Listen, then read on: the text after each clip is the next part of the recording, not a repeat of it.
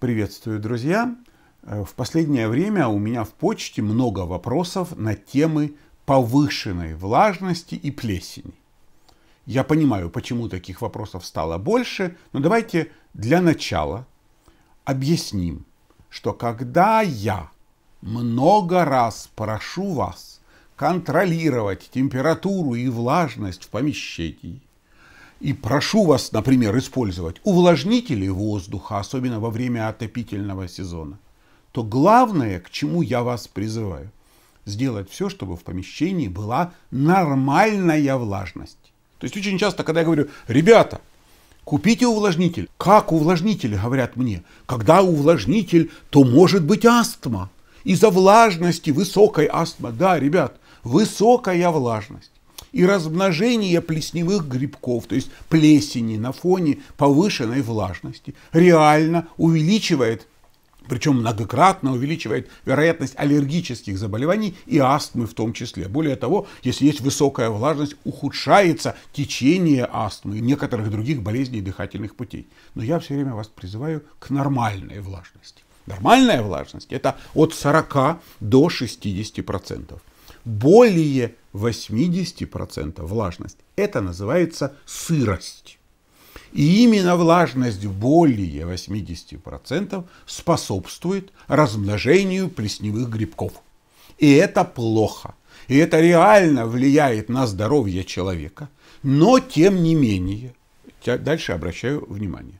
Когда пытаешься найти современную литературу по поводу того, как жить людям с повышенной влажностью, то все без исключения источники говорят о том, что повышенная влажность – это не медицинская проблема, а инженерная проблема. То есть, если мы не можем решить проблемы благоустройства дома, создания нормального климата внутри помещения, то мы никак не можем поправить человеческое здоровье. То есть, если в данном помещении постоянно сырость, то надо решать этот вопрос. Еще раз говорю, у меня нет таблетки, нет такой медицинской рекомендации, которая позволит защитить вас от этой самой плесени. Кстати, э, объясняю, почему в последнее время таких писем о повышенной влажности стало больше.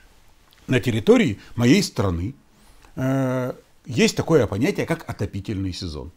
Более того, в нашем отопительном сезоне почему-то традиционно считается, что температура комфорта это там 23-25 градусов. Несмотря на разговоры про экономию электричества, про экономию газа, про прикрутите батареи, тем не менее, вот нам хорошо, когда мы можем ходить зимой в трусах. А чем активнее мы отапливаем помещение, тем ниже влажность воздуха, поэтому для наших соотечественников полгода жары в помещениях, полгода отопительного сезона и полгода низкой влажности – это скорее правило, нежели исключение. Сейчас, когда несколько миллионов моих соотечественников оказались за рубежом и живут в Польше, в Прибалтике, э, в Нидерландах, в Италии, многие столкнулись с проблемой, с реальной проблемой высокой влажности. Высокой влажности именно в зимнее время, в весеннее время. И что с этим делать?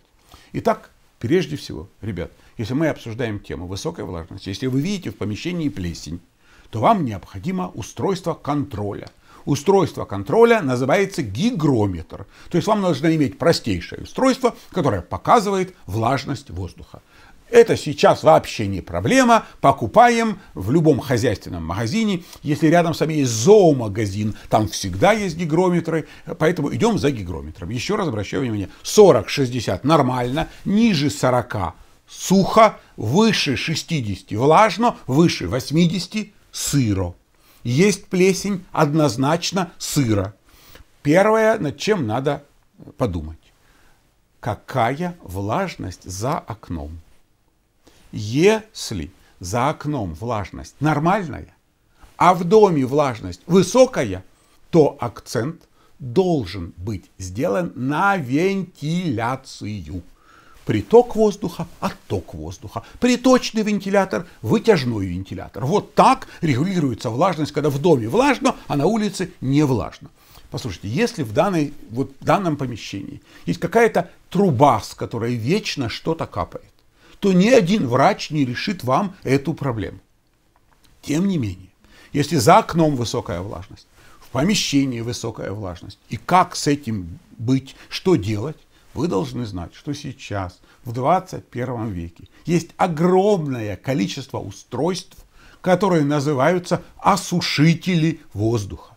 Осушители воздуха. Они бывают бытовые, промышленные, профессиональные. Их сотни разных модификаций. Каждый такой осушитель имеет э, примерно ну, площадь, на которую он ориентирован, на сколько литров воды он может в час убрать из этого помещения, сколько он потребляет электроэнергии. Поэтому, если у вас высокая влажность на улице и в помещении, то решить эту проблему можно с помощью бытового осушителя воздуха, и вам надо сейчас обращаться не к врачам, а вот к продавцам климатической техники. Тем не менее, у большинства из вас в доме присутствует устройство, которое может понизить влажность воздуха. Это устройство, как называется?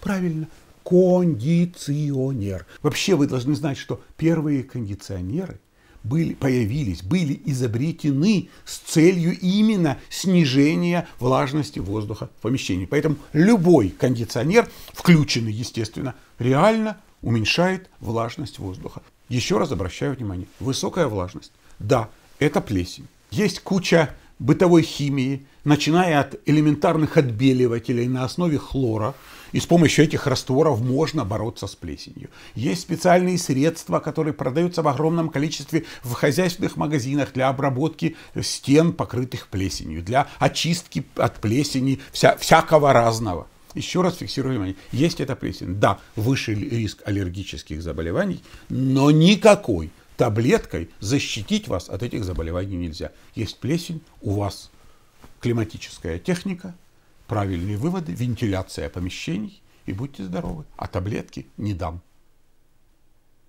Делайте правильные выводы.